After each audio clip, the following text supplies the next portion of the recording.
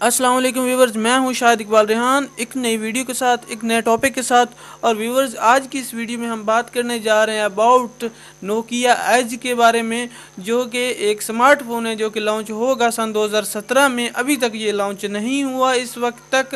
اور یہ سن دو ہزار سترہ میں لانچ ہوگا۔ اس کی کیا اسپیسیفکیشن ہوں گی اور کیا اس کے فیچرز ہوں گے؟ آئیے بات کرتے ہیں۔ ویورز سب سے پہلے ڈسپلے کی بات کرتے ہیں تو ویورز 5.5 انچز کا ڈسپلے ہوگا اس کا اور اس کے ساتھ ساتھ اگر ہم جو ایک اہم فیچر ہے کیمرہ ہم اس کی بات کرتے ہیں تو تیئیس میگا پکسل کا کیمرہ استعمال کیا جائے گا اس میں اور ایٹ میگا پکسل کا جو فرنٹ کیمرہ ہے فیسنگ کیمرہ ہے فرنٹ فیسنگ کیمرہ ہے، وہ استعمال کیا جائے گا اور اس کے علاوہ جو دیگر کیمرہ کے فیچرز ہیں، اس میں auto focus geo tagging touch focus panorama digital zoom اور فیس ڈیٹیکشن کا جو جو فیچرز ہیں، وہ اس میں استعمال کیے جائیں گے۔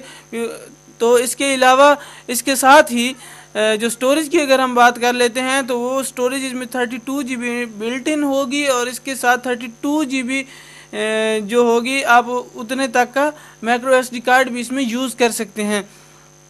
اور اس کے ساتھ ہی بیٹریز میں 3600 ایم ایچ بیٹری یوز کی جائے گی اور اس کے علاوہ 7.0 جو ایک اینڈرائڈ کا ورژن ہے، وہ اس میں آپریٹنگ سسٹم استعمال کیا جائے گا اور فور جی تھری جی اور ٹو جی اس میں اویلیبل ہوگی۔ آپ ان تین ٹائپس کی جو اس وقت تک ٹیکنالوجیز ہیں، تو آپ ان کو استعمال کر سکتے ہیں تھری جی فور جی اور ٹو جی کو استعمال کر سکتے ہیں۔ اس کے علاوہ انٹرٹینمنٹ کے جو فیچرز اس میں ریڈیو استعمال کر سکتے ہیں۔ آپ اور اس کے ساتھ ساتھ بلوٹوتھ کا اس میں فور پوائنٹ زیرو ورژن استعمال کیا گیا ہے۔ جی پی ایس کا اور جی پی آر ایس کا جو آپشن ہے، وہ بھی اس میں اویلیبل ہوں گے۔ تو ویورز اس کی جو ابھی تک پرائس ہے، وہ سامنے نہیں آئی۔ جیسے ہی پرائس سامنے آئے گی، اس پر الگ سے ویڈیو بنائیں گے۔ اور جو اس کے لیٹسٹ اگر کچھ چینجنگ ہوئی تو ان کے بارے میں ویڈیو بناؤں گا۔ تو ویورز یہ تک کی یہ تھیں اب تک کی نوکیا